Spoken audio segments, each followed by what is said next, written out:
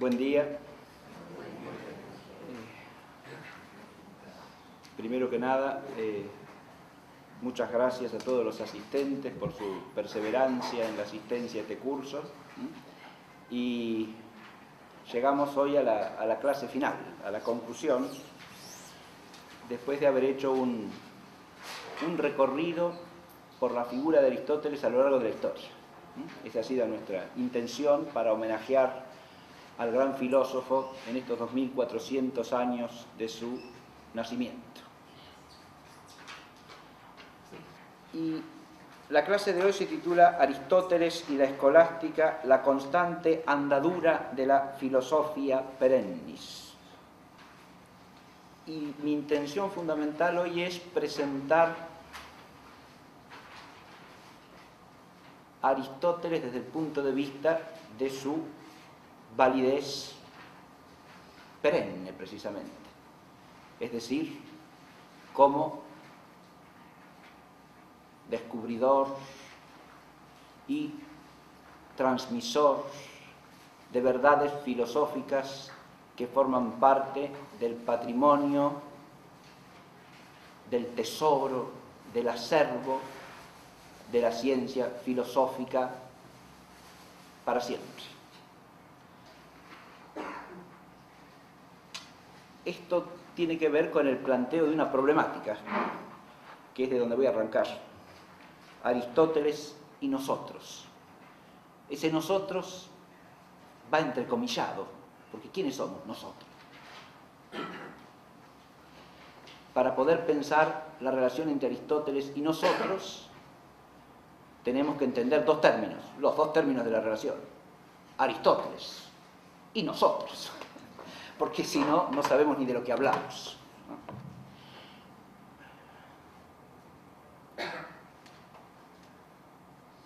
Cuando estábamos distribuyendo los programas antes del comienzo de este curso, cooperaron varias personas que están aquí presentes en esa tarea, y uno de ellos que está sentado allá al fondo, el joven Emanuel, se encontró en una de sus, en sus recorridos con un librero al que le dejó el programa.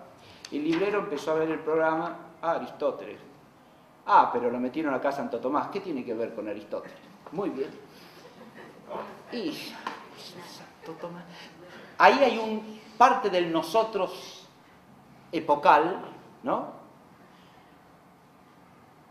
Que puede interesarse por Aristóteles, pero siempre y cuando Aristóteles no tenga nada que ver con Santo Tomás. Esto quiere decir con la tradición del pensamiento cristiano, ¿no? Aristóteles, ¿qué tiene que ver con eso? Bien. De una manera más virulenta e insidiosa, ciertas relecturas y reinterpretaciones de Aristóteles establecen el mismo corte, la misma ruptura. Así, por ejemplo, Humberto Eco, en el libro Semiótica y Filosofía del Lenguaje, sostiene que Aristóteles es una gran figura del pensamiento, porque realizó el acto extraordinario y valeroso de postular, de construir un lenguaje metafísico.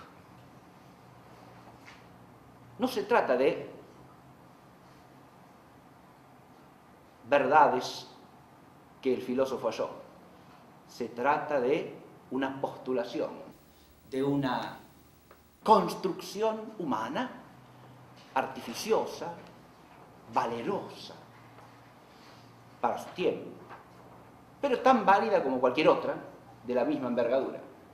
Es decir, se trata solamente de poner un lenguaje que hable de ciertas cosas y que es una construcción humana, siempre, no otra cosa. Un signo de esa reinterpretación es el juego que hace con las palabras de Aristóteles, el ente se dice de muchas maneras, ¿no? porque según este autor que estoy mencionando, lo que Aristóteles hace es sostener que el ente es lo que se dice de muchas maneras. Ahora subrayo yo, el ente es lo que se dice. Cuando usted dijo eso, ya Aristóteles desapareció, porque el ente no es lo que se dice. Si el ente es lo que se dice, el lenguaje pone el ente. ¿Está claro lo que digo? Es nuestro lenguaje el que hace que las cosas sean y sean lo que nosotros queramos que sean. El ente no es lo que se dice. El ente ha de decirse de muchas maneras porque se entiende de muchas maneras y se entiende de muchas maneras porque se da de muchas maneras. Eso es Aristóteles. Hago la advertencia siguiente. Bueno, es una cuestión de interpretación. Hasta cierto punto, obviamente, hay muchas cosas del propio Aristóteles que pueden entenderse de una manera o de otra. Ya lo hemos visto en los propios comentaristas eso. Estudiar la tradición de los comentarios es importante, entre otras cosas, para eso, ¿no? Para descubrir que hay pasajes de Aristóteles que pueden interpretarse de una manera o de otra. Pero atribuirle a Aristóteles un constructivismo lingüisticista es desconocer absolutamente la entidad propia del pensamiento de Aristóteles, sus raíces, sus principios, sus conclusiones, la totalidad de la contextura mental de Aristóteles, es situarse en unas coordenadas absolutamente ajenas al pensamiento de Aristóteles. Y eso es lo que no hace la tradición cristiana que recibe Aristóteles. Lo que, lo que, quiero señalar de entrada es que ese nosotros complejo de hoy día es un nosotros en el cual se puede nombrar a Aristóteles de muchas maneras, pero hay muchas maneras de nombrarlo en el cual el Aristóteles auténtico, real, ha desaparecido, porque ha sido reinterpretado desde una visión de la realidad absolutamente antagónica e incompatible con la de Aristóteles. Esto es una problemática que dejo planteada de entrada, pero si no advertimos este, este horizonte problemático, no podemos entender tampoco lo que voy a decir a continuación a lo largo de toda la clase. El nosotros en que yo me instalo, por lo tanto, es el nosotros de una tradición cristiana que ha asumido la filosofía de los griegos y la ha cultivado durante ya prácticamente dos mil años.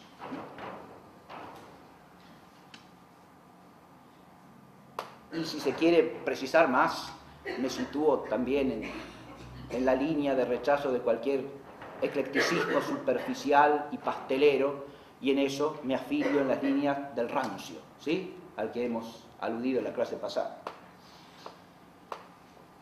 Y al mismo tiempo me arraigo en la convicción constante de toda la tradición escolástica, a la que alude el título, de que la filosofía no se reduce a Aristóteles ni se identifica sin más con el pensamiento de Aristóteles o de ningún otro hombre singular.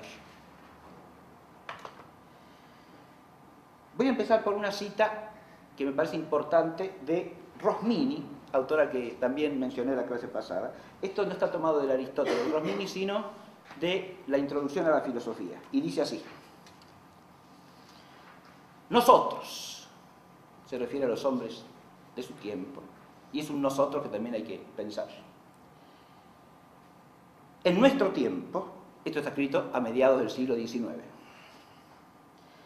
encontramos ya preparada una gran abundancia de argumentos y armas dialécticas que los mejores y más sinceros y benéficos ingenios descubrieron y elaboraron, y con los cuales pusieron de manifiesto los engaños, disiparon las cavilaciones, confundieron los errores, y así desenmascararon al secreto burlador del género humano que siempre intentó envolver en tinieblas la luz de la verdad o mejor dicho, de cubrir con falsa luz sus mismas tinieblas. A la acumulación de tan extraordinario tesoro de doctrinas contribuyeron todos los siglos, y especialmente los 1800 años postreros que han recibido del Evangelio una nueva luz para un más perfecto entendimiento. Estas doctrinas fueron consignadas por innumerables escritores en una serie de volúmenes que, aunque disminuida y lacerada por la guerra del tiempo y las peripecias de los pueblos, resulta todavía monumental. Este pasaje que acabamos de oír de Rosmini refleja una actitud que enlaza con el conjunto de la tradición. Y es la digo, enlaza con el conjunto de tradición, más aún, es una expresión del concepto auténtico de tradición. Esto dicho por un filósofo del siglo XIX suena extraordinario, porque está dicho en un horizonte en el cual muchas figuras célebres y celebradas lastimosamente se habían propuesto inculcar la idea de que la auténtica filosofía empezaba solamente con ellos y que todo lo demás era una prehistoria oprobiosa de oscurantismo de la que había que liberarse. Rosmini acá tiene, sí, el coraje de decir nosotros, los hombres de mediados del siglo XIX, lo mismo podemos decir hoy, a comienzos del siglo XX, XXI, perdón, XXI, 150 años después de, de texto de Rosmini, exactamente lo mismo, somos herederos de una extraordinariamente rica tradición que nos nutre con sus principios de verdad, que es un tesoro de sabiduría. Principios que nos permiten combatir los errores, disipar las tinieblas del engaño, dice Romini, y ya se proyecta en una perspectiva teológica acerca del engaño, ¿no? porque sitúa las raíces de todo engaño grave en el mentiroso desde el principio, en el padre de la mentira. Anheloso siempre dice de cubrir la luz de la verdad con sus tinieblas o de hacer aparecer sus tinieblas revestida de una luz engañosa. Aristóteles lo tenemos que situar en el conjunto de este magnífico depósito del que hay que partir siempre, según aquel espíritu que expresa la, célebre sentencia de la cristiandad latina, nos remite esto al siglo XII, ¿no? según la cual somos enanos subidos a hombros de gigantes. Los gigantes ahí son los antiguos, en los que tenemos que apoyarnos. Y si no nos subimos a sus hombros, somos enanitos, que no vemos ni, ni los tobillos de estos gigantes. ¿Está claro? Ahora, si nos subimos a sus hombros, podemos todavía ver un poco más allá, gracias a ello. ¿Sí?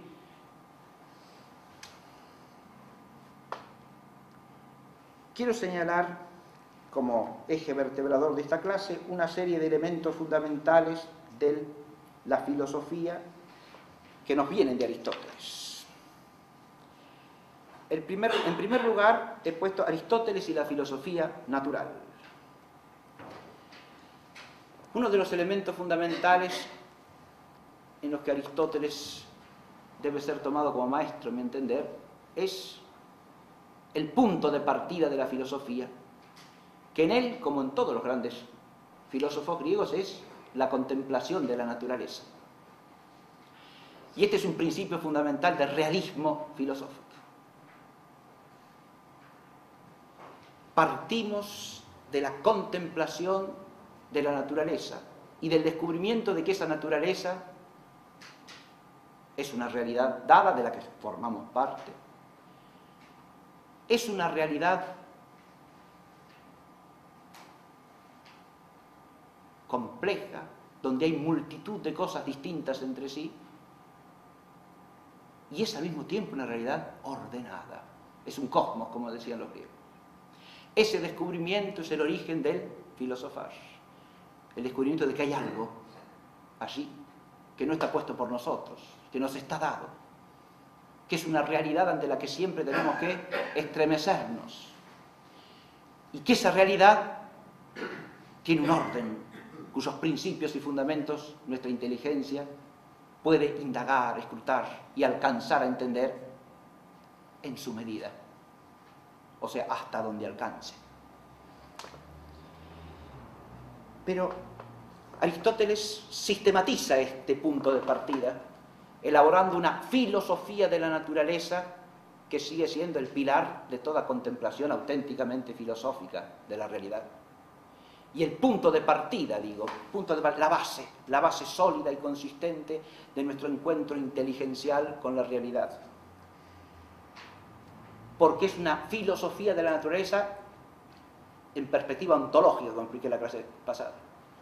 Se entiende a la naturaleza en cuanto una realidad que existe, que es, y que es un conjunto de entes, de cosas que son de entes naturales. El mismo sentido del ente natural es una cosa en la que hay que arraigarse hoy día quizá más que nunca, porque estamos invadidos por un pensamiento en el cual la naturaleza tiende a ser desplazada por lo artificial. Y el hombre se pone a la par, no ya de la naturaleza, sino del autor de la naturaleza, pretendiendo enmendar la naturaleza, suplantarla, poner cosas distintas en lugar de lo que está dado. Es una pretensión ilusoria en el fondo, absurda, contraria a la razón, pero es una pretensión con la que nos topamos por todas partes. El mismo sentido del ente natural aparece gravemente deteriorado o lisa y llanamente perdido en muchas personas. Y sin ese sentido del ente natural, hasta desaparece primero la, sensatez de la razón humana y segundo los fundamentos en el orden natural del vivir y del obrar humano. También los fundamentos de la moral y del derecho están en juego ahí, remotamente, no directamente, pero sí en sus principios primeros. Porque si no reconocemos un orden en la naturaleza, no tenemos dónde hacer pie en el ser de las cosas para fundar el modo en que debemos obrar, personal y comunitariamente. Este sentido realista de la ontología aristotélica, con su doctrina de la sustancia y el accidente naturales, con su doctrina de las causas que existen en la naturaleza, del orden causal de la naturaleza. Es un antídoto, he puesto así, contra todo subjetivismo. Porque lo primero que tenemos que encontrarnos en una ciencia filosófica recta y en una actitud filosófica auténtica, quiero decir sapiencial, amante de la sabiduría, lo primero con que tenemos que encontrarnos es con la realidad.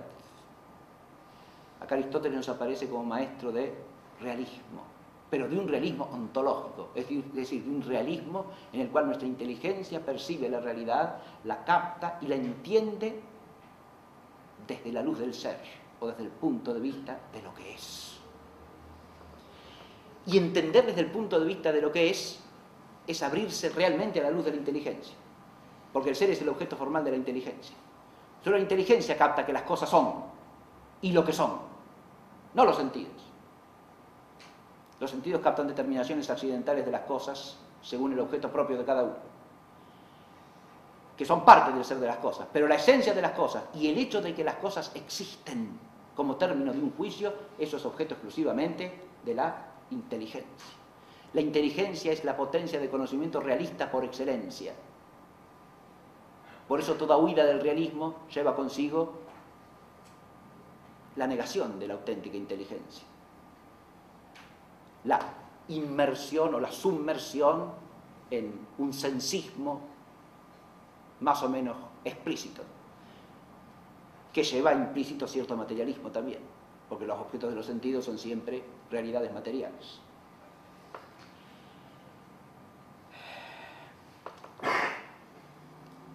Es la inteligencia la que nos permite entender que no solamente vivimos en medio de cosas dadas, sino de cosas que pueden estarnos presentes aun cuando no nos estén dadas y más aún de cosas que estén presentes para nosotros o no, son, sea que las conozcamos, sea que no las conozcamos.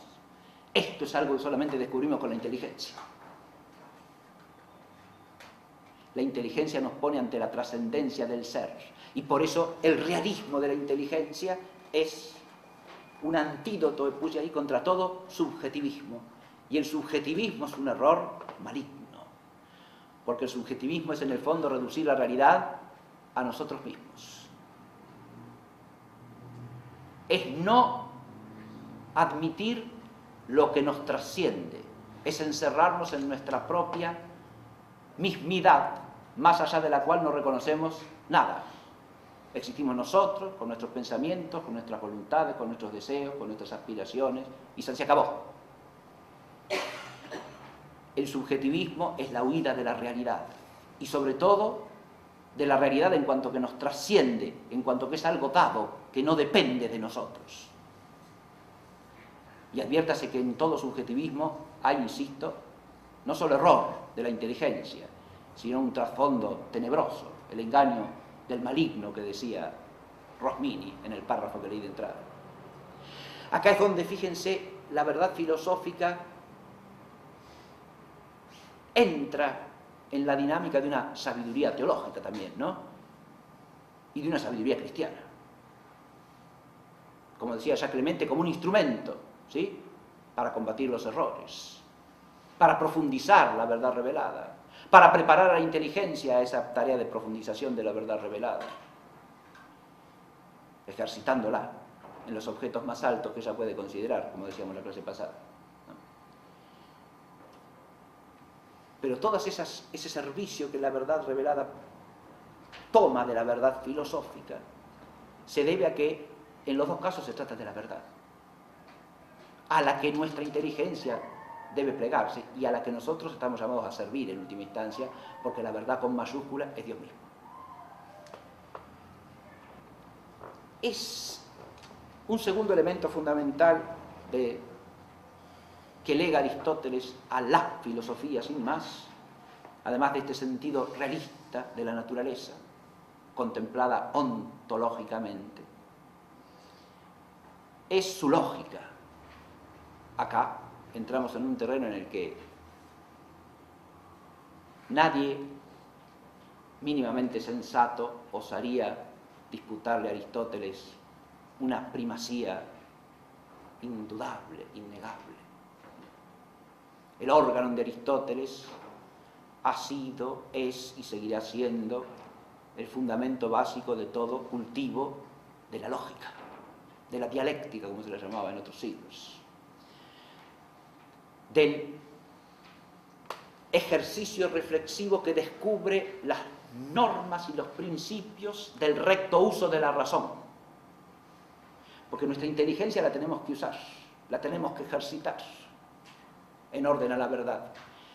Pero para ejercitarla adecuadamente tenemos que ejercitarla de modo recto, respetando los principios que el discurso, que el movimiento de la inteligencia debe respetar. Y estos principios, fíjense, son los que la lógica de Aristóteles ha enseñado y sigue enseñando siempre.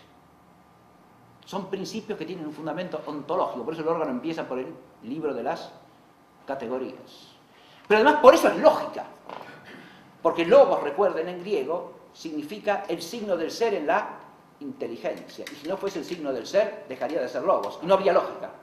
La lógica no es ni lingüística ni retórica, que son dos cosas que subordinadas a la lógica pueden ser muy provechosas de estudiar, pero la lógica misma no es una lingüística, ni es una gramática, no es una retórica. No, señor. No es una onomástica, un arte de combinar nombres de cualquier manera, tampoco. Es logos lo que está en juego. Y el logos implica la correlación entre el ser, la inteligencia y ese signo del ser en la inteligencia que el griego llama logos, concepto y palabra al mismo tiempo, diríamos nosotros en castellano. Y son las relaciones entre estos conceptos que se significan mediante voces, lo que el lógico tiene que estudiarlo. Pero en cuanto remiten al orden de lo inteligible, y lo inteligible es el ser. Por eso detrás de los principios lógicos hay principios ontológicos.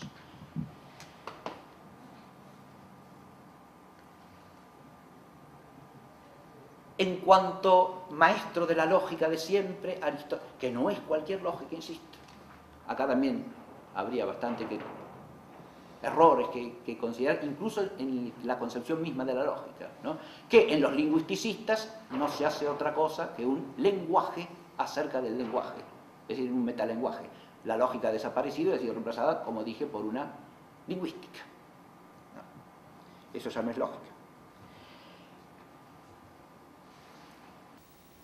Esta lógica de Aristóteles nos enseña, está asociada, y nos enseña siempre en la tradición, está asociada, digo, al rigor intelectual y también a la templanza de la inteligencia que se despliega por modo de ciencia. Este es, este es uno de los elementos máximos que la escolástica asimilará hasta el fondo y que forman parte de su vida, de lo que la escolástica no se puede desprender. En ese sentido es aristotélica. Toma el órgano y lo hace instrumento hasta la raíz, digamos, ¿no? ¿Pero por qué? ¿Por un capricho? No, primero que nada porque es la lógica auténtica, y sin lógica no hay recto uso de la razón, insisto. Pero además porque implica una extraordinaria templanza de la inteligencia. Templanza quiere decir moderación, siempre, ¿no? Evitación de extremos torpes. La lógica de Aristóteles nos previene contra todo irracionalismo, sin duda que sí, contra toda superficialidad irracionalista que desprecie la disciplina rigurosa de la inteligencia racional. Claro que sí. Pero nos previene también contra los extravíos gnósticos, intuicionistas, que pretenden que lo ven todo, que sin ejercicio de esfuerzo intelectual alguno saben hasta lo más profundo, porque está dentro de mí la verdad. Entonces yo doy vuelta a mis ojos para adentro, ¿sí? Un ejercicio de, de y ya veo las profundidades últimas de la realidad. Se acabó, ya está. ¿Qué me vienen a hacer? Silogismo, pero ¿qué es esa estupidez de hacer El silogismo es un signo de la templanza de la inteligencia. Silogismo demostrativo, apodístico, dice Aristóteles, que es el instrumento de la ciencia, que parte de verdades y concluye en verdad. Fíjese, parte de verdades y concluye en verdad. Eso contra todo escepticismo, contra todo reduccionismo de, la inteligencia a la opinión. ¿no? no, no, no, no, no. Porque la templanza también está en saber reconocer la verdad cuando nos aparece, ¿no? Si fingimos que nunca conocemos la verdad, si le escapamos sistemáticamente, todo es opinable, posición sumamente cómoda, ¿no? Porque si todo es opinable, yo termino opinando lo que quiero o lo que me conviene, ¿sí? Ahora, donde hay una verdad objetiva a la que, atenerse, ya se acabó el capricho. Eso es humildad de la inteligencia y es templanza de la inteligencia. Recibir la demostración cuando existe, ¿no? Pero al mismo tiempo es una demostración, es un proceso, es un proceso riguroso, difícil, arduo. No es que yo lo intuyo todo, lo veo, está todo clarito porque yo lo veo, porque a mí se me, se me manifiesta. No, no, no.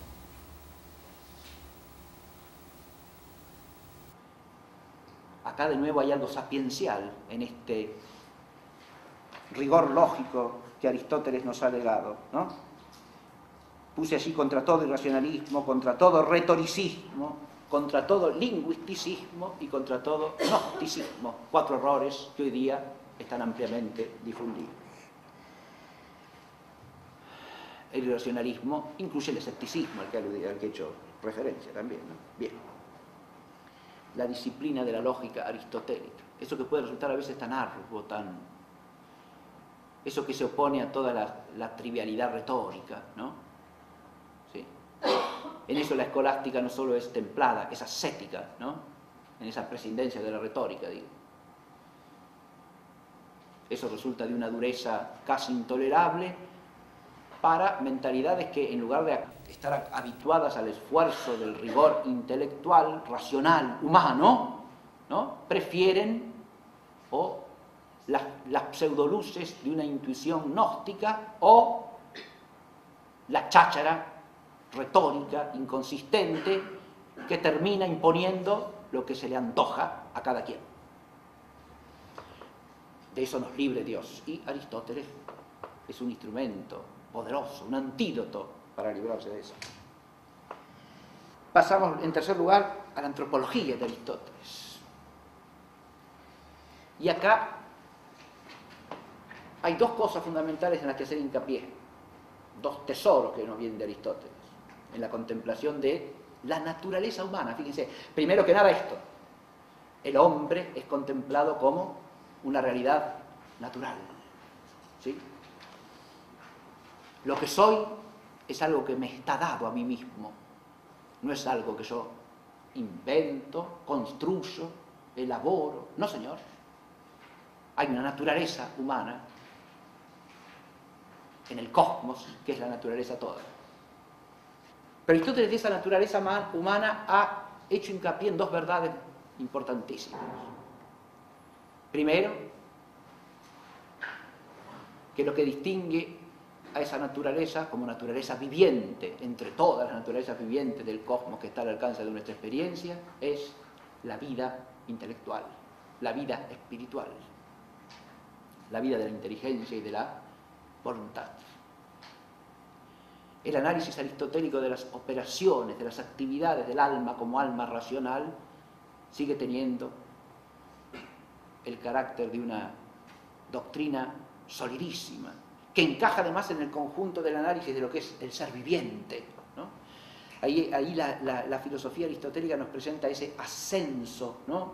a través de los distintos tipos de ente natural que va del ente no viviente al ente viviente, del ente viviente vegetal al ente viviente sensitivo y del ente viviente sensitivo al ente viviente racional, que es el hombre, y vislumbra más allá vivientes que son inteligencias separadas para llegar finalmente al viviente que es acto puro,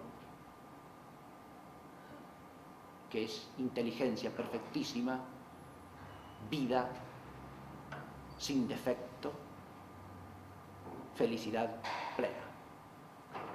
Y ese es el único digno del nombre de Dios, dice Aristóteles. En ese ascenso jerárquico que es filosófico natural y luego metafísico.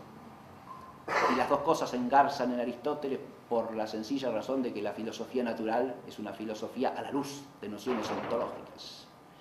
De modo que su cima engarza con la base de la ontología general. Pero esa base de la ontología general ya está también en la base de la filosofía natural misma. La antropología de Aristóteles nos presenta ese panorama que podríamos llamar de análisis psicológico, ¿no?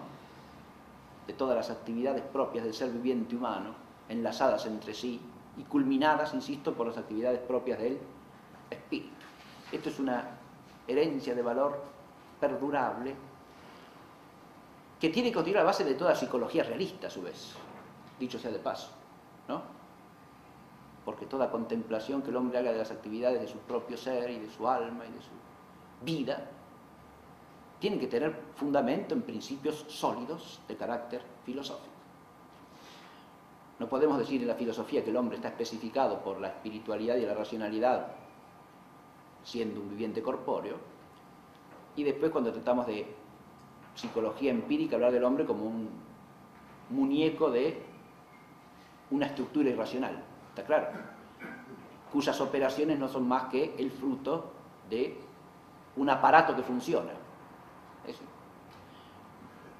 No se puede sostener las dos cosas al mismo tiempo, diciendo que una cosa es filosofía y la otra es ciencia. Y la filosofía es la ciencia por excelencia, empecemos por ahí. Si no, ya confundimos hasta los términos en el uso clásico. Eso, ese es el tipo de eclecticismo inaceptable contra el que levantaba su, voz de modo enérgico y, humorístico el amigo Francisco Alvarado, ¿no? el filósofo Ramos. Pero hay otra cosa que suele destacarse, y está muy bien de la visión filosófica que Aristóteles nos lega del hombre, y es su énfasis en la unidad sustancial del todo humano, la unidad sustancial del compuesto. Espíritu y materia en el hombre forman una unidad sustancial. Acá vemos aparecer una problemática en las clases se ha tocado varias veces, ¿no? El problema de la separabilidad o no separabilidad del alma humana en Aristóteles en relación con el problema del entendimiento agente, ¿verdad?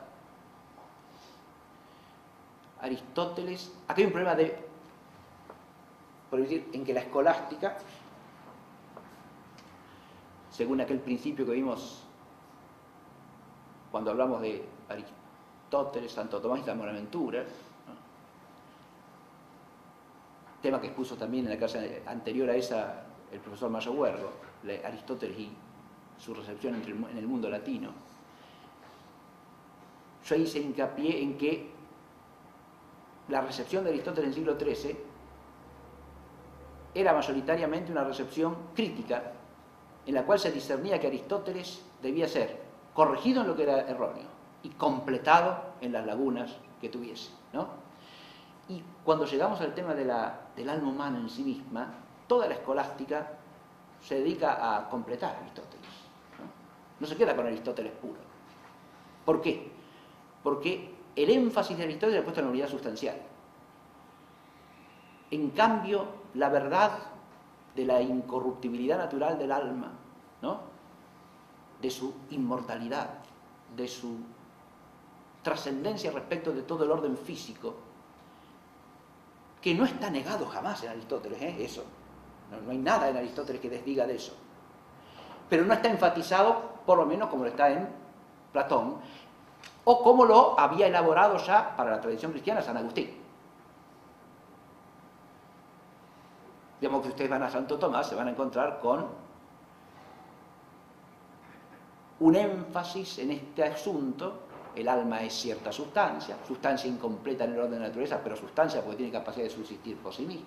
Una demostración formal de la inmortalidad del alma que usa principios de Aristóteles, porque se remonta de la operación a la potencia, de la potencia al sujeto de la potencia, que es el alma misma. ¿No? Es decir, sin una línea realista de demostración. Profundizando en unión con los principios aristotélicos las demostraciones agustinianas. Esto me, me tengo a comentarlo brevemente porque forma parte de la idea que señalé al comienzo, ¿no? Aristóteles solo no es toda la filosofía. Ningún hombre singular puede ser. La obra de ningún hombre singular lo es.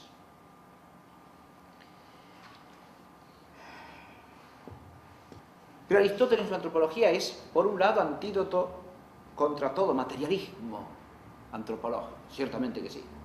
El hombre en Aristóteles se define por la vida intelectual, como dije. Y la vida intelectual claramente trasciende el universo de la materia.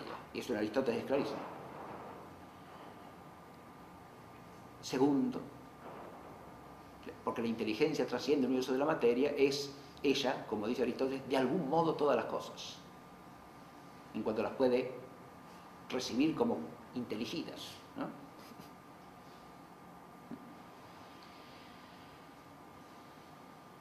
Pero también contra todo reduccionismo intelectualista. ¿Qué quiero decir aquí? El pensar al hombre como una mera inteligencia desprendida del mundo físico. No, el hombre no es eso. Volvemos a, esa verdad fundamental de la unidad sustancial. ¿no? El hombre es espíritu, pero es espíritu naturalmente unido a la materia y por lo tanto un espíritu corporal, un cuerpo espiritual. Un ser viviente corpóreo intelectual, una inteligencia en cuerpo.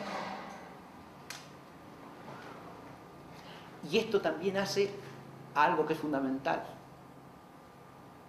la ubicación inteligente por el hombre de sí mismo. Esto entronca en la tradición antigua griega hasta con la religión, ¿no? en, la, en, la, segunda clase hablé algo de eso, ¿no? El principio apolíneo, ¿no? El hombre no es ni divinidad ni bestia.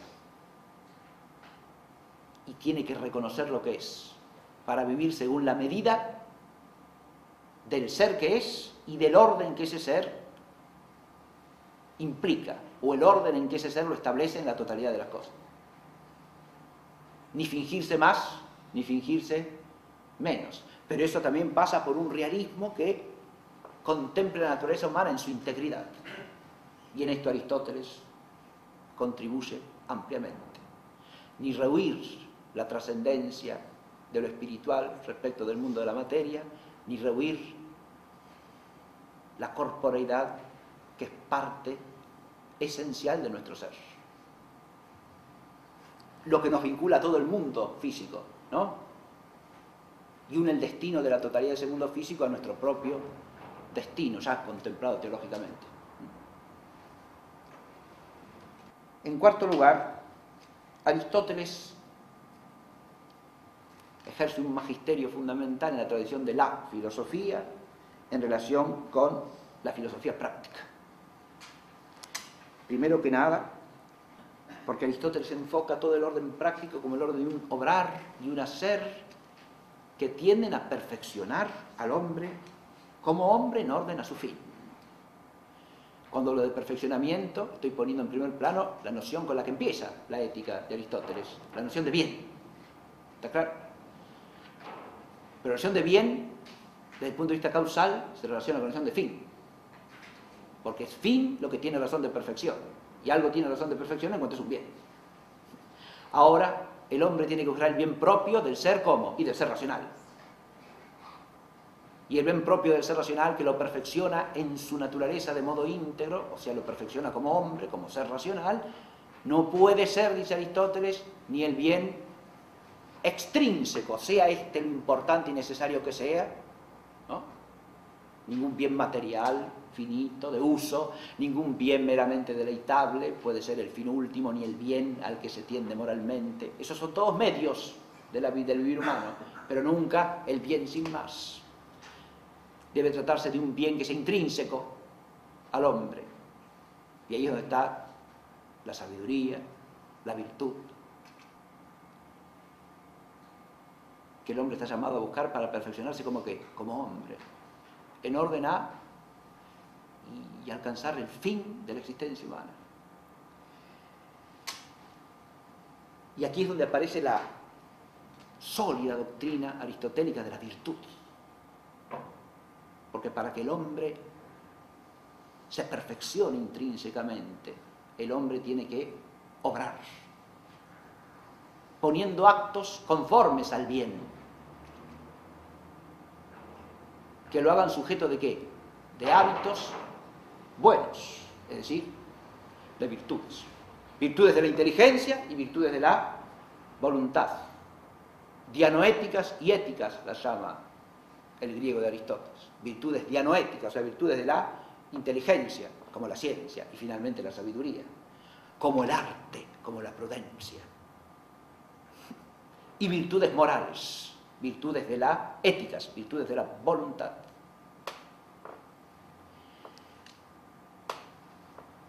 obviamente todo el universo del orden práctico en Aristóteles es un universo en el cual hay que procurar el bien. El bien del hombre en orden a qué? Al sumo bien, porque no hay orden de bienes, esto también nos lo enseña Aristóteles. Si no hay un sumo bien al cual todos los bienes puedan ordenarse adecuadamente. Y el sumo bien no puede ser el hombre mismo. Y acá está la otra verdad fundamental de la filosofía práctica de Aristóteles. El sumo bien no puede ser sino el ser perfectísimo, el acto puro, que es Dios, que como fin último atrae a todas las cosas y supremamente a los seres que son racionales y lo pueden conocer y lo pueden amar. Hay limitaciones de la ética de Aristóteles. En la clase pasada yo leí un texto de Seferino González donde señalaba cierta impresión que deja la ética, la lectura de la ética de Aristóteles, de cierta falta de un horizonte final últimamente trascendente para el hombre en cuanto a su vivir, como vivir bueno, ciertamente que tiene limitaciones, volvemos a este punto, ¿no? Hay limitaciones, hay lagunas que completar, ciertamente que sí, pero hay verdades fundamentales a las que hemos de atenernos, porque son verdades que ordenan la totalidad del saber filosófico. La filosofía práctica de Aristóteles, que integra el bien de cada quien a través del orden ético, el bien de la sociedad humana civilmente organizada a través de la política, y de la sociedad doméstica en la economía, ¿no? Abarca el orden total del vivir humano, de nuevo una perspectiva realista. No se trata de que cada quien busque la virtud por sí solo y para sí solo, en una especie de individualismo absurdo y fuera de la realidad, ¿no? No, no, no. El hombre vive en la polis.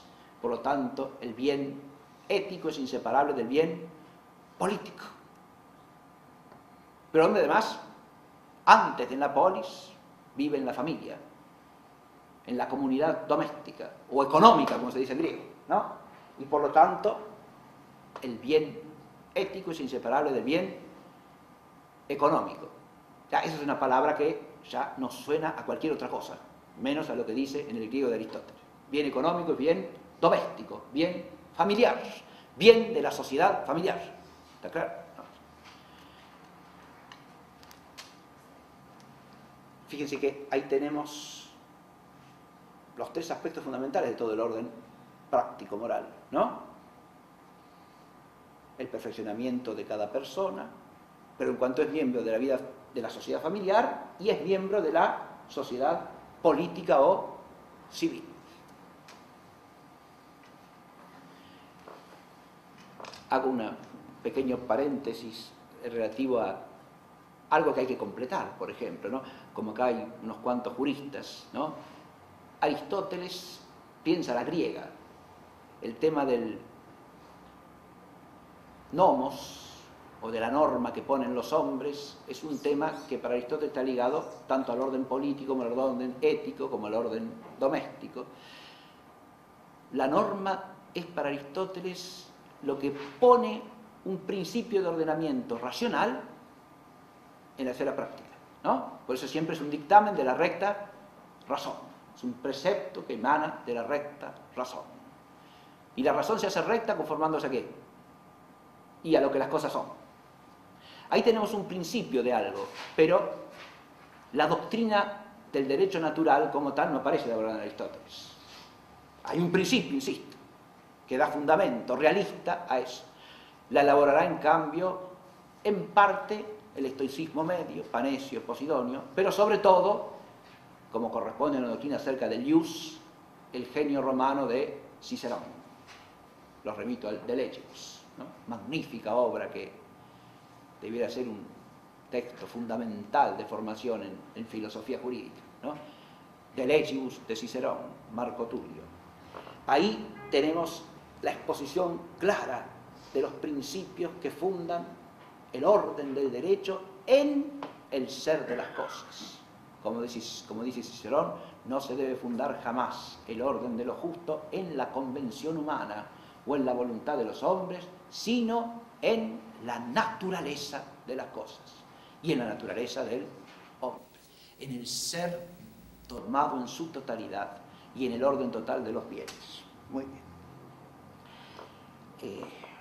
Por último tenemos eh, discúlpeme, en la filosofía práctica de Aristóteles hallamos un antídoto ahí contra todo voluntarismo, claramente, ¿no? Todos los voluntarismos que desde el nominalismo camiano en adelante se han ido desarrollando encuentran en la doctrina moral de Aristóteles un antídoto clarísimo, ¿no? Porque no hay voluntad en sentido propio, sino inteligencia que la preceda iluminándola y dándole el objeto, como, como dirán los escolásticos, el objeto formal porque el objeto formal la voluntad no se lo puede dar por sí misma. La voluntad no puede entender qué es el bien. La voluntad ama el bien, pero el bien se lo tiene que presentar como tal la inteligencia. Una moral que se apoya solo en la voluntad es el principio de la amoralidad. Porque una voluntad que no está iluminada por la inteligencia no puede querer nada. o es arrastrada desde fuera por una autoridad que manda, o es arrastrada desde abajo por los apetitos irracionales. ¿Está claro lo que dije? No tiene otra vuelta. Por sí sola no se puede determinar a nada. O se cae en un voluntarismo autoritarista, extrínseco siempre a la vida auténticamente racional, o se cae en un instintivismo y la voluntad no es más que ejecutar lo que el instinto manda. De nuevo, extrínseco. Extrínseco a la vida racional también, porque es inferior. Contra todo voluntarismo, contra todo convencionalismo. La moral no es cuestión de la... El bien no se conviene. El bien honesto no es cuestión de convenciones. No es algo... Bueno, acordemos en llamar bien a esto, ¿no? Digamos que esto está bien, esto nos conviene a todos, fenómeno. No, señor. el bien de la naturaleza no es cualquier cosa, porque la naturaleza no es cualquier cosa. Contra todo relativismo también, ciertamente que sí. Fíjense que Aristóteles en su realismo es capaz de entender muchas variedades en el orden político, en el orden ético también, variedades de cosas que son accidentales, contingentes, circunstanciales, porque encajan dentro del orden moral. ¿Sí? No pretende ninguna clase de homogeneidad irrealista o de falta de precisión y de adecuación concreta a las circunstancias, no. Por eso, una virtud fundamental dianoética que incide primariamente también el orden ético es la prudencia, ¿no? La prudencia con toda su riqueza, Aristóteles es el primer análisis ¿no? de las partes de la prudencia, que después la escolástica profundizará, ampliará, enriquecerá enormemente, ¿no? Pero la prudencia es la virtud práctica práctica, ¿no? La que nos supuesta la virtud moral la perfecciona, ¿no? Porque nos da el, digamos así, el hábito que nos permite con la inteligencia práctica regular el ejercicio de la virtud según las circunstancias. Eso ya, ya sea personalmente, ya sea comunitariamente, ¿no? Prudencia tiene que tener cada uno en su obrar personal, prudencia tiene que tener el, el padre que rige la familia, prudencia tiene que tener el gobernante que rige la ciudad. Prudencia. La doctrina de la prudencia también es fundamental dentro del enfoque realista del orden práctico. Bien. Y contra todo convencionalismo, relativismo y antropocentrismo, en definitiva, porque el bien sumo no es ni puede ser nunca el hombre. Y en eso la filosofía de Aristóteles, como recta y sana filosofía que descubre la verdad, converge con la reflexión cristiana que la trasciende desde la luz de la fe. La moral no puede estar encaminada solo al hombre, porque el hombre no puede ser bien sumo del hombre. Más aún, el hombre no puede ser fin del hombre, eso es absurdo. La doctrina aristotélica de las causas ya nos enseña eso. ¿no? El fin es siempre causa extrínseca, porque una cosa que no se ordena, algo que la trasciende, no tiene fin. Por eso el único ser que no tiene fin en Aristóteles es Dios. Es el fin de todo, pero no tiene fin. No puede tener fin, porque el fin es algo que por trascendernos nos llama hacia Él y es algo a lo que nos encaminamos. ¿sí? Los entes imperfectos tienen fin. Por eso suprimir la teleología del orden práctico en el fondo es perverso. ¿sí? Porque quitarle al hombre su finitud encaminada a algo que lo trasciende. Muy bien. Por último, he puesto Aristóteles y la teología. Y acá los invito a leer el, el parrafito que figura en el programa. ¿Sí? Cada uno lo En el programa, no en, la planilla de hoy, en el programa. ¿Sí? Si lo tienen a mano. Si no lo tienen, no se preocupen. ¿eh? En el programa yo puse un fragmento de Aristóteles que hace alusión a la sabiduría que es la ciencia más alta, ¿no? ¿Y cuál es la ciencia más alta? La única que puede llamarse sabiduría. Aristóteles dice dos cosas en ese parrafito. Primero, aquella que se apropia del ser más perfecto.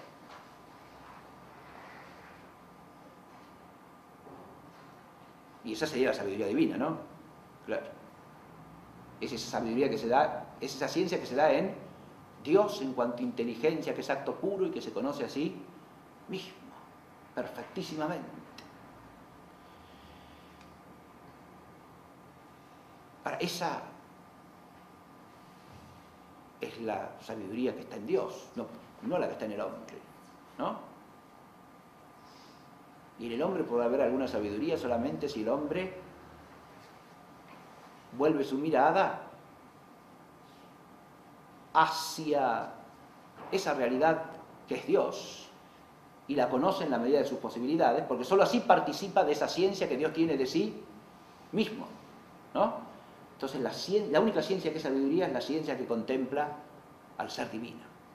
Este esto también es Aristóteles. ¿no?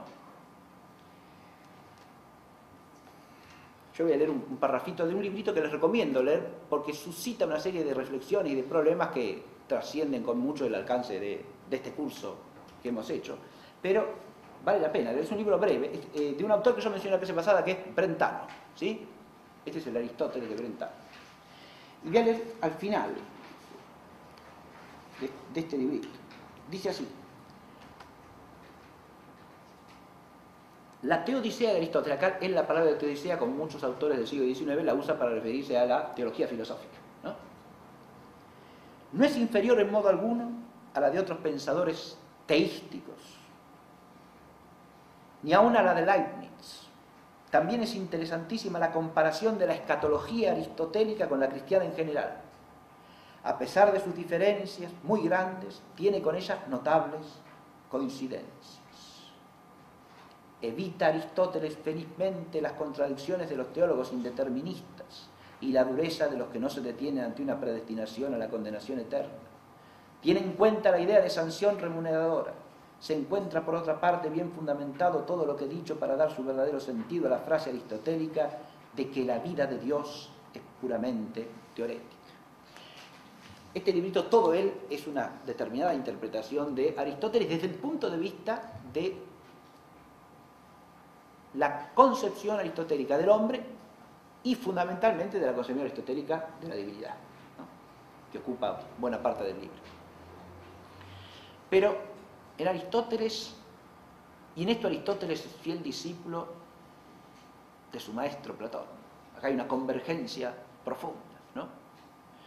Lo que el hombre con su inteligencia está máximamente llamado a contemplar, ¿qué es? ¿La realidad de este mundo? No, señor sino lo que trasciende radicalmente de este mundo. Lo separado, que diría Platón, ¿no? La realidad, que es como, que es el ser mismo, siempre igual a sí mismo, inmutable y eterno en su perfección. En eso no son dos voces discordantes. Son dos voces que por caminos distintos concuerdan finalmente. ¿no? Lo que el hombre está máximamente llamado a contemplar por ser un ser racional e inteligente es el ser de Dios. En Aristóteles esa contemplación, mientras vivimos en el tiempo, se identifica con la sabiduría filosófica. Pero una sabiduría filosófica va unida a la vida virtuosa y a la amistad. La amistad en, en, Aristóteles es un tema moral fundamental. Le dedica dos libros de la ética nicomaquea. Magnífico. La profundización aristotélica en el concepto de amistad no solo es admirable, es, hermosa.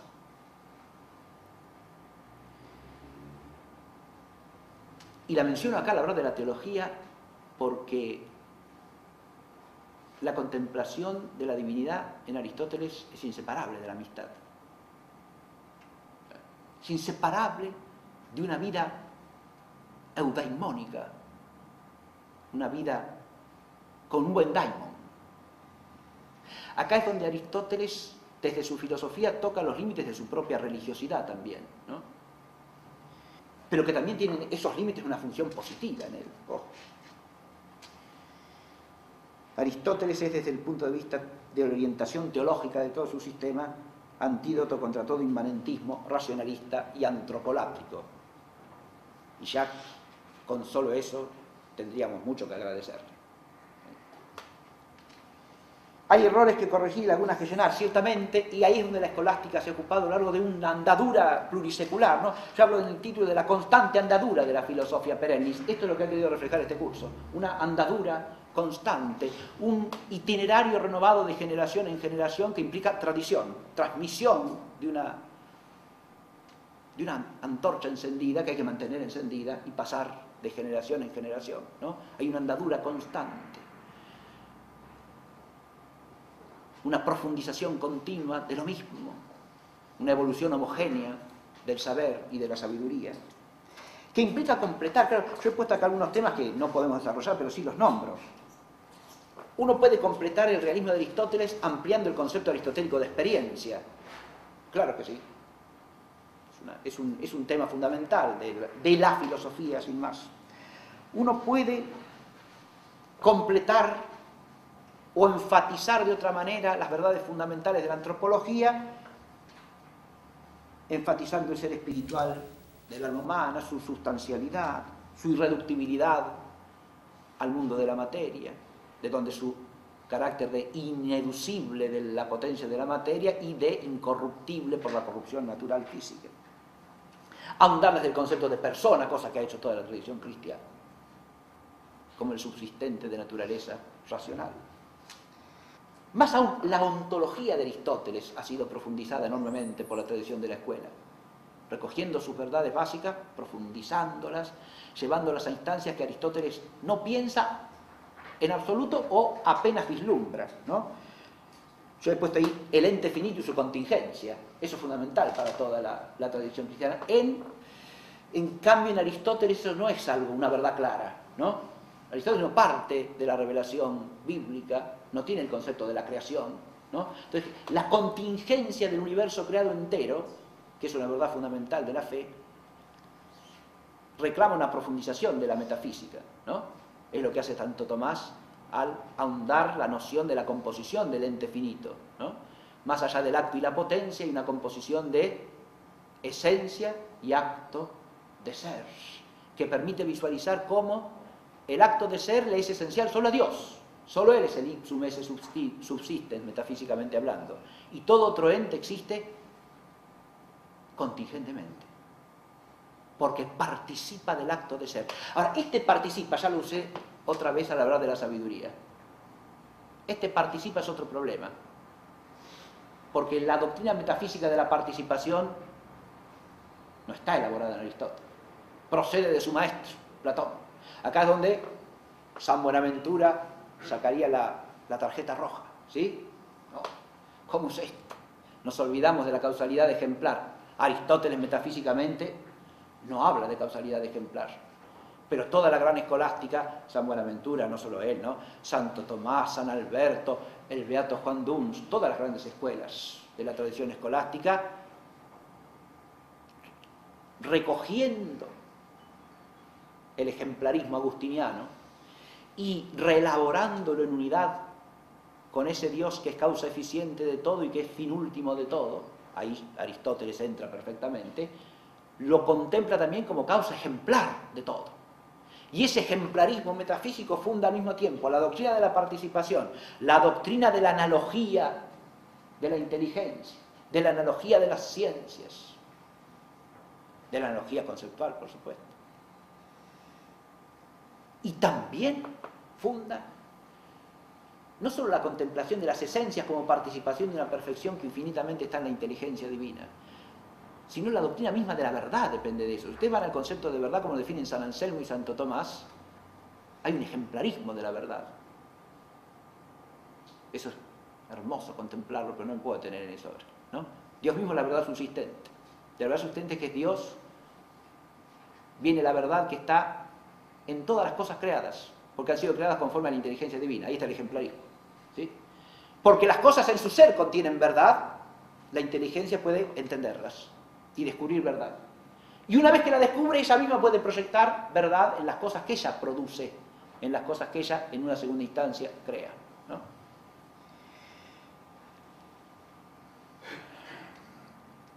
La doctrina de la ley natural también implica la participación, dicho sea de paso. Bien. Pero estas correcciones no van contra Aristóteles. Más aún, yo creo que Aristóteles estaría... No lo voy a hacer hablar a Aristóteles como el rancio, eso sí que no. no. tengo el arte para hacerlo. Pero me atrevo a pensar que Aristóteles estaría conforme con esas correcciones. Porque ahí la escolástica se basa en un principio que es aristotélico. Yo lo mencioné en la segunda clase de este curso. Lo voy a leer de nuevo en griego. Y está expresado por un comentarista de los que habló el profesor Rego en su clase sobre los comentaristas griegos, Juan Filón, ¿no? Y la frase dice, Filos ben Platón, filtera de Gealetria. Amigo Platón, pero más amiga la verdad. Más amiga la verdad. Fíjense ustedes que, así como él corrigió a su maestro, al que le tenía un amor y una estima enormes, ¿no? estaría plenamente dispuesto a que sus discípulos lo corrigiesen a él, ¿no? Eh, es de esperar. ¿sí? Era un hombre de su sentido de la virtud y de su inteligencia sensata y sabia filosóficamente, cabe esperar. Una última reflexión para terminar con esta clase y con este curso, ¿no? Porque yo he puesto aquí lo perenne de la filosofía. ¿Qué es la filosofía perenne? ¿Qué es lo perenne en la filosofía? Lo perenne, por supuesto, se opone a lo caduco, ¿no? Y se distingue a su vez de lo eterno. Lo eterno es solamente la perfección divina. Lo perenne es lo que está llamado a perdurar. O más precisamente, el bien que está llamado a perdurar. Y en ese sentido, toda verdad filosófica es perenne. Y todo esfuerzo en pos de la verdad filosófica también. También. La tarea de buscarla con ahínco y con empeño a lo largo del tiempo también es perenne, porque dura mientras dura el tiempo. No estamos eximidos de ella nunca. Para recibir aún ese tesoro de la tradición que decía Rosmini, tenemos que esforzarnos, ¿no? Porque recibir una tradición no es una cosa pasiva, implica el esfuerzo de abrir el oído, abrir los ojos, abrir el corazón y el espíritu a lo que se recibe, ¿no? A lo que nos es dado. Llenarnos de ello para después poder comunicarlo hacia adelante. Y si no, no hay tradición. Y en esa asimilación también hay un dinamismo de renovación, de eventualmente de planificación, de perfeccionamiento, de purificación. Si la, meta es la verdad, ¿no? Siempre. Lo eterno se opone a lo mudable. Mudable somos nosotros, ciertamente pero no la verdad que nuestra inteligencia conoce.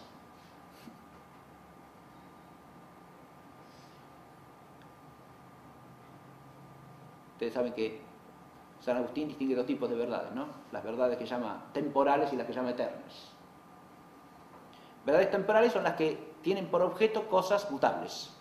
Esa puerta está abierta y dentro de un rato puede estar cerrada, ¿no? Esa es una verdad temporal.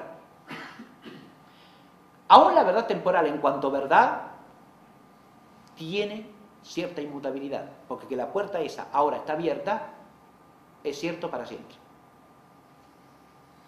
Puede dejar de estar abierta, es contingente que esté abierta, no es necesario que esté abierta, y en un momento va a estar cerrada, o puede estar, pero que ahora está abierta es verdadero para siempre, ¿no? Pero hay verdades que son eternas porque no tienen que ver con objetos mutables, sino con objetos que no mutan.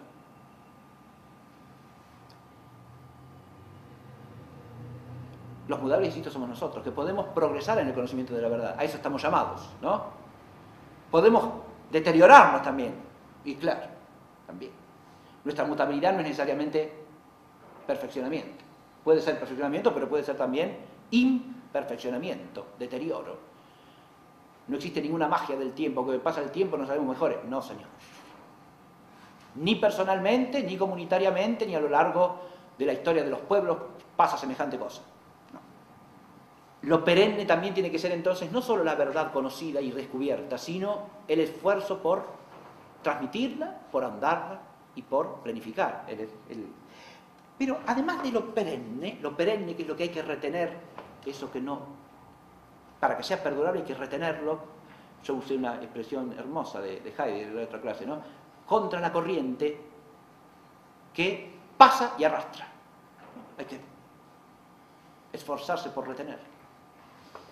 Pero ese esfuerzo tiene que ver, hay cosas caducas, y claro, sí, lo que aquí es lo caduco, y el caduco es lo que perece y pasa, ¿no? En nuestro esfuerzo puede haber aspectos caducos, sí, claro, y en lo que hallamos también. Lo caduco no es la verdad, ni el empeño auténtico en pos de la verdad. Pero nuestros errores, nuestras superficialidades, todo, eso es caduco. Pero ojo, es también lo, lo pertinaz, que no debe ser confundido con lo perenne, porque lo perenne es el bien que perdura, pero puede haber un mal perdurable también. Hay mal perdurable.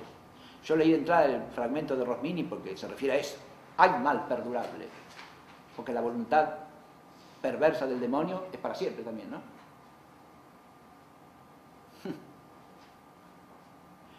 Por eso los errores que se revisten de novedad son tan viejos como el padre de la mentira.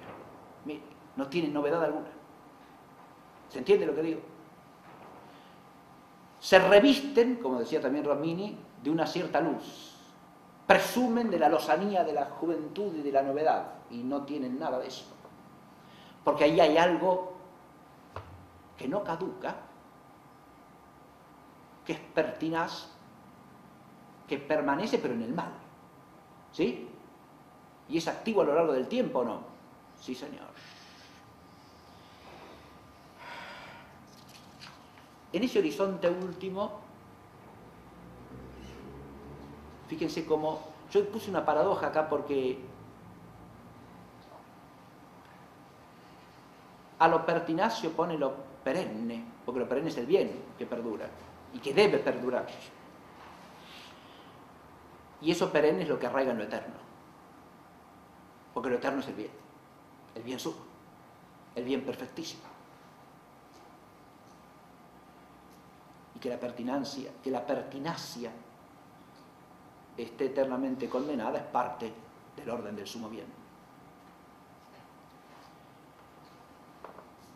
Lo último que quiero decir, y ya los dejo en paz, es una breve consideración sobre un tema que, claro, a mí personalmente me, inquieta, porque yo, leo con mucho gusto las cartas aristotélicas del filósofo Rancio, pero su invacilante opción literaria de instalarlo en el infierno me produce cierto, cierta inquietud, por lo menos, ¿no? A ver, si uno se plantea esta cuestión, está planteando una cuestión teológica, ¿no? Y una cuestión teológica singular, y en realidad no es una cuestión teológica. La cuestión teológica sería en general, ¿no? Si algún pagano puede no estar en el infierno, ¿no? Esa sería la cuestión teológica general.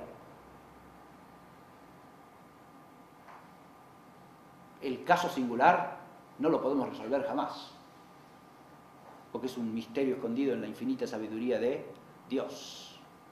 No podemos presumir, ni para los cristianos que estén en el cielo, que estén en el infierno, no, tenemos derecho a presumir de nada, ¿no? Singularmente nunca. A presumir jamás. Podemos tener la idea de una cosa o de la otra con un fundamento objetivo, claro que sí, ¿no? Aristóteles, claro, Ustedes recuerdan que San Pablo dice que ni el judío se salva por la Torá, ni el pagano por la conciencia conforme a la naturaleza, sino que todos se salvan por la gracia de Cristo Jesús, el judío y el gentil. Desde un punto de vista teológico, no podemos decir que todo gentil esté en el infierno, ¿no? todo pagano no es una afirmación que teológicamente se imponga eso. ¿Por qué? Porque la gracia de Cristo, como ustedes saben, atraviesa la historia entera de la humanidad, desde el principio hasta el fin. Lo que pasa es que respecto de los no bautizados no podemos tener más que una presunción de que la gracia les haya llegado de una manera extraordinaria, ¿no? Porque la manera ordinaria es la gracia del bautismo. Y en la economía de la antigua alianza, algo que ordena eso, que es la pertenencia al pueblo realmente y en espíritu. Pero, y entre los gentiles no hay algo análogo. Los padres de iglesia señalan que sí, ¿no? Porque la providencia de Dios también los preparó a ellos para la venida de Cristo. Entonces, lo único que yo quiero es hacer un ejercicio posible, ¿no? Si uno, si Aristóteles hubiera, hubiera podido oír la predicación de San Pablo, de San Juan.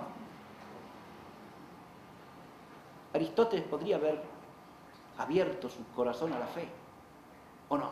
Esto es lo que uno puede pensar, ¿no? Y yo pienso, por ejemplo, en, temas que atraviesan todo el, pensamiento de Aristóteles. Su esfuerzo, el tema de la amistad, por ejemplo, ¿no?